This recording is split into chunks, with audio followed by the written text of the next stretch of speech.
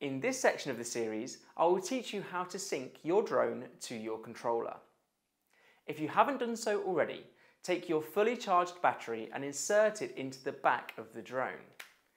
You can then press and hold the on button on the top of the drone for two seconds.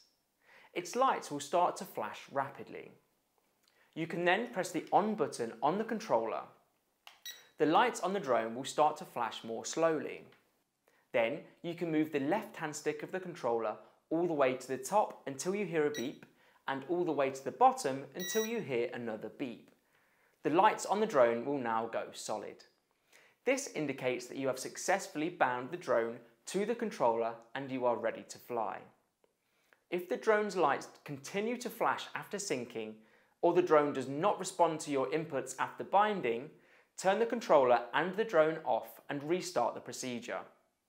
Make sure that nobody else is trying to bind to their drone in the same vicinity, as this will affect the ability to sync to your drone.